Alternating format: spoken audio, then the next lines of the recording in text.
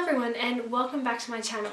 So I have a little midweek video for you guys today which I normally don't do. Well actually I don't really have a specific schedule but I normally don't really film this time of the week but I went to Priceline this morning and I went in to buy one thing and came out with more than one thing. So I thought that I would sit down and do this video for you guys today um, just in case you were curious as to what I got.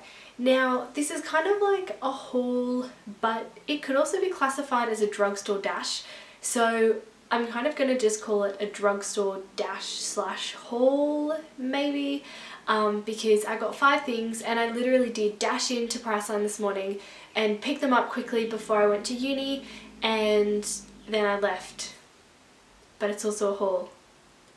Anyway let's just get into it. So I'll start with the thing that I actually intended to buy and went in there to buy and that was just uh, some cotton, cotton rounds, cotton pads. Um, I buy the large ones and I use it um, with like a micellar water to take my makeup off because and I had to get some more because I was almost running out. So I just had to get some more. And I just bought the Priceline brand ones because I'm not really that fussy with it. So yes got those the next two things are a little bit boring, possibly.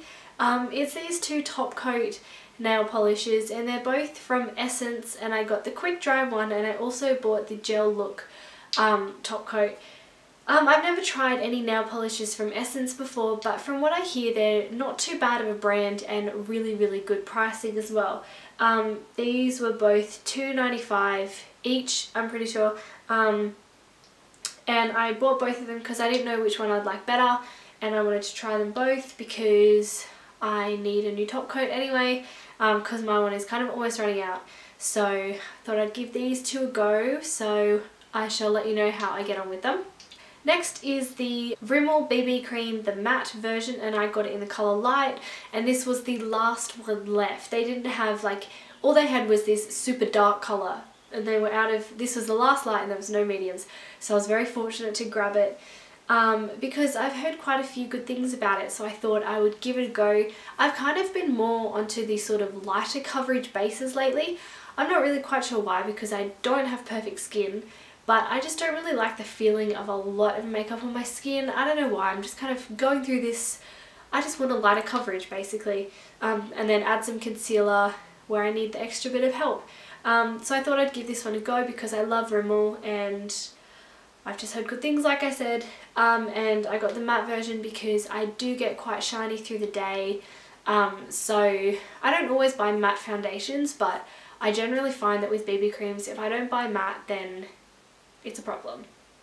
So got that, shall see how that goes, hopefully I like it.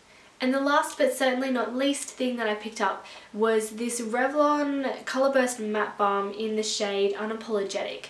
And I love the name, like love it. Um, and it's a really pretty, I would say it's a pinky coral red sort of colour. Um, and these are currently on sale for $10 at the moment so I picked one up because I really like these sort of chubby stick things. I know that they're kind of maybe a bit done now, like, you know, they've been around for a while, everybody uses them, loves them. I've already got plenty, but um, I just don't have a colour that is like this in any sort of lip product, whether it be lip gloss or lipstick or anything. So um, I thought I'd pick it up because I just think it will be my go-to colour or one of my go-to colours for spring and summer this year. Um, and I just fell in love. Simple as that. Well that is everything that I picked up.